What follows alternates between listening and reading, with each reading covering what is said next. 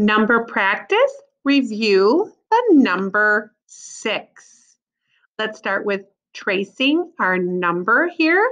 So we start at the top, and this is this funny slant where you're kind of slanting down and then you make a circle around. One motion. You start at the top, you slide down around, and you give it a big curve.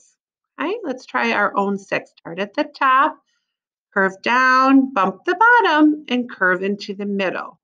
Six. The word six is S-I-X. You start here, you make a letter S, which is a curve, and then another curve. Then you have the I, don't forget to dot your I, and an X, which is crisscross, so slant and slant. These three letters are all in the grass letters. They bump the middle and the bottom. Let's try one of our own. We have curve and curve. That's an S, I, X. Don't forget when you are practicing that you should trace each letter in the word, each number, use all the space, practice all the different options for review. Now we'll go on a number hunt. Today we're looking for the number six. We have 0, 2, 1, 8, 13, 9, 25, 2, 6, 20, 5, 4, 28, 6, 7, 12, 9, 25, 3, 6. Yay! 8, 1, 9, 3, 6. There's one. Let's circle it. 17, 2, 6. Oh. 3, 0, 5, 6. Two sixes right on top of each other. 3, 20, 0, 2, 0, 29, 1, 3, 7, 19, 8, 10, 1, 6, 8, 6. Okay, when you're done with your number hunt, you're going to work on your number book page, the name collections of six. Today you will draw six frogs on a log. Those are kind of fun to draw. And you will also do six tally marks. Let's start with the tally marks. We have tally marks where we need first to make a set of five. So one, two, three, four. What do we do for five? We shut the door. So there's our five. And now we need one more. Five, plus 1 is 6. That is how we represent 6 with tally marks.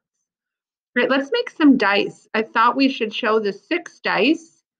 We have one, two, three dots on one side of the die, and one, two, three dots on the other. That's a 6 die. We could also have two dice. We could have a 2 dice, and we could have dice that have 4 on them. One, two, three, four. So we have two plus four is six, or we have a dice that is six altogether.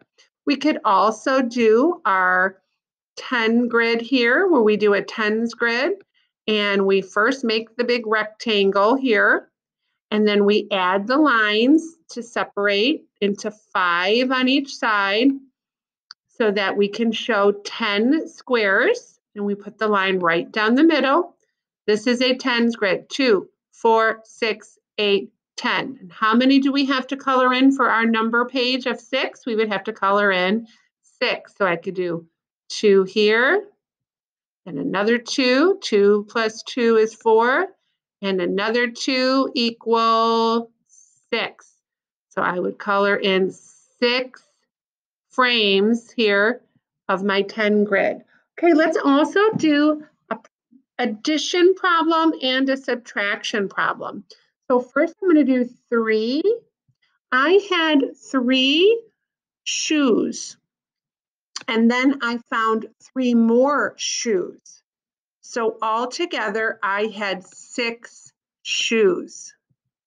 And when I had the six shoes, that means I had one pair and another pair and another pair.